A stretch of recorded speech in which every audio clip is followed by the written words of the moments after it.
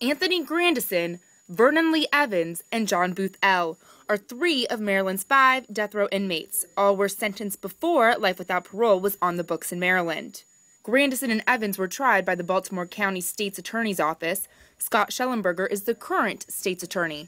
I, I, believe legally the governor could commute their sentence, but I have a grave concern about whether he can commute a sentence to an individual of life without parole when that sentence didn't exist when they were convicted. I think that would be subjected to legal challenge. And Shellenberger says it's possible those three could end up back on the street.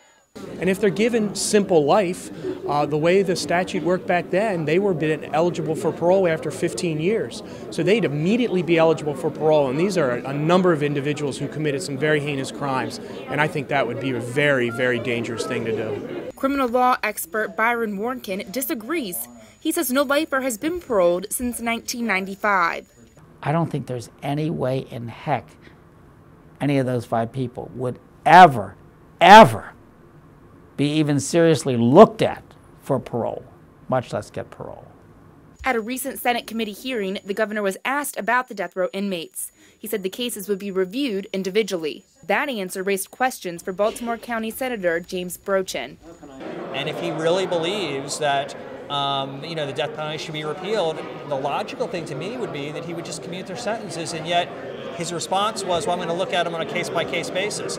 Well, does that mean you believe in execution and they should be executed or not? And if not, why don't you just commute their sentences? Warnken says that the bill is not retroactive. The death penalty could stand for the inmates. But he says the legislature could also address the issue.